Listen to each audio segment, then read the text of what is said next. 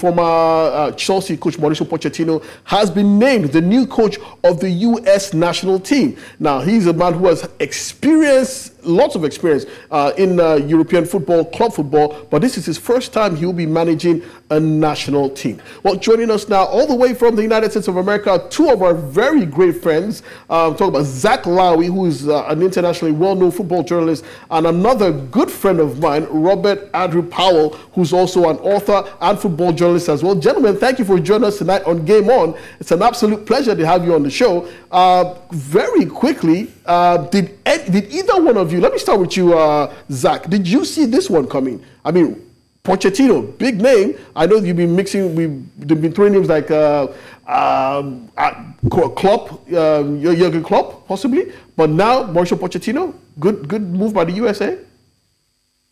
Yeah, I have to say I totally did not see this coming. You know, as someone who has supported the U.S. for about two decades now, I'm used to coaches like Jurgen Klinsmann, Bruce Arena, Greg Berhalter.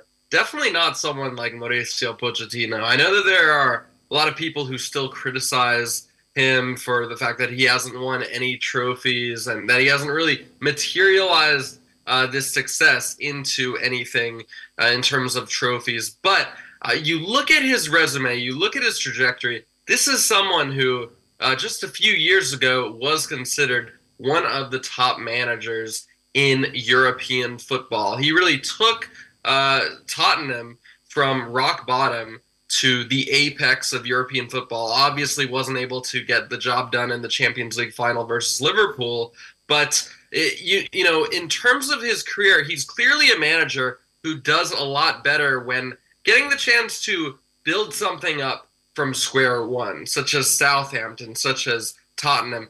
Not so much where he's being tasked with, you know, the pressure of big money signings such as Chelsea and Paris Saint-Germain. So I do think that's going to be a big distinction. I think that he's going to have you know, a lot more liberty, a lot more patience than he had at Chelsea. Where even uh, even with Chelsea being the third best team of the Premier League last season in the final month of the campaign, uh, even with Chelsea qualifying for Europe, he still wasn't able to convince them that he was good enough for another season. With regards to the U.S., though, I think that this is a major coup. And I think that he is the perfect man to really bounce back from the humiliation of uh, Copa America, you know, becoming the first ever Copa America host nation to fail to uh, reach the knockout round.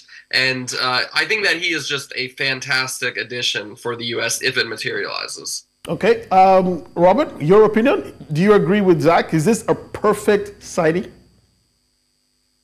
It, I mean, it's a great signing. I, I mean, I, I agreed to be on here mostly just to attack our former coach, who I hated.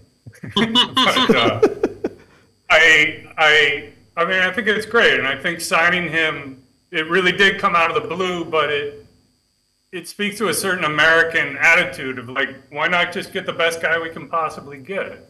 Mm. And, and and going out and doing it, um, looks like he's going to be signing with us. Um, I mean, it's just you can't be anything but optimistic. It just feels great.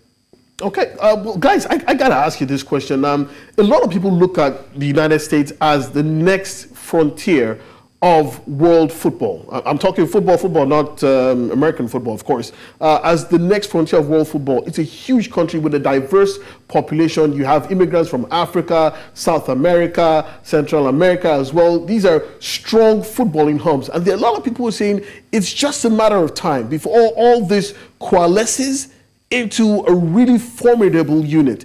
Um, and, with, with the likes of Mauricio Pochettino coming in and what I've just talked about, can all this coalesce in time for a real major, major uh, run at the FIFA World Cup in 2026? Zach? I, look, as as excited as I am for Pochettino to take charge, you know, no manager can be a magic potion. No manager can be a genie who will who will you know magically take uh, middle of the line players into world class superstars. Right? It's incumbent upon the players to reach that level. Okay, so as much as you can blame Berhalter for the failure of the Copa, ultimately a lot of these players let themselves and their country down. Uh, I think that's going to be a really big question over the next two years. Not only uh, is Pochettino going to be able to instill confidence and and build a sturdy spine in this U.S. team? But are the players going to be able to take the next step in their development? Right. You look at this U.S. team, and it's clearly made up of a lot of players who are either approaching their prime or in their prime. Right. The likes of Christian Pulisic, Weston McKennie. Uh, players who the kind of the jury is still out on, right? So I think that apart from Pulisic, there really aren't too many players who have been able to solidify themselves as stars, uh, especially in the attacking department. I think that is going to be a really big question, right? Are these players going to be able to make the difference, not just for their clubs, but for their country, right? You look at the U.S. under Greg Berhalter, uh, they failed to beat a single opponent inside of FIFA's top 25 uh, apart from CONCACAF teams such as Mexico. So this is a U.S. team that pretty much beat whoever uh, it, it, was expected to beat, but crumbled against the biggest opponents. Hmm. Um, you know, I think that failing to get out of the group stage, failing to beat Panama, uh, that that is a massive stain, not just on Berhalter, but on a lot of these players. Right? It, it's up to them to kind of wash off that stain and prove to themselves and prove to this country that they truly are uh, the next great generation of U.S. soccer. Mm. Robert, what about you? Can uh, the, the U.S. The, the, United States, with its massive immigrant population, with some great um, great great people coming from Africa, from South America, Central America as well. That on one side with Mauricio Pochettino, can you create a formidable unit that can wipe away uh, the stain, as it were, of the last Copa America and make a major major push for the World Cup in 2026? I doubt it, but I, I, would love it. I would love it. I, this is my favorite team. I live for them. I. But, but why I do you doubt it, guys? Just so, so, sorry. Why do you doubt it? Greece, Greece. In 2004, you were you watched that, didn't you, Zach? You watched that, didn't you, Robin? A very average team stunned the entire world and won a competition. Nobody even gave them a, chance of winning a single game. And hey, if there's we're, uh, we're, we're better than Greece. We're better than Greece, and I and I know it. And and I like this team and I like our players and I like that we're bringing in the coach. Um, I don't, you know, Zach was saying he doesn't think that one coach can be totally transformative, and I, I agree with that. I, I really liked our coach, Jurgen Klinsmann. I thought he really opened a lot of doors for us internationally. I thought he uh, helped evolve our team, but he wasn't going to be the guy who got it done either. And I don't think, you know, I don't think any coach they hired is going to do it, I would just really like it if they did. I, I, you know, the United States is the melting pot. We do have talent coming in from everywhere culturally. Um, but I just don't think it's going to happen in my lifetime. Okay, uh, okay, okay. Finally, guys, let me just ask you this question. Uh, Zach, you, what would represent success for the United States at the FIFA World Cup in 2026? Nobody expects them to win it, but what would you be happy with? Oof, that's a really good question. I think that uh, I would be happy with a competent performance that really sh- showed a lot of fight and courage against the top sides. I think that ultimately, you know, getting to the knockout round is the bare minimum. Uh, it would be great to see them get to the quarterfinals for the first time since I believe 2002. Uh, but obviously, that's going to be a lot to ask.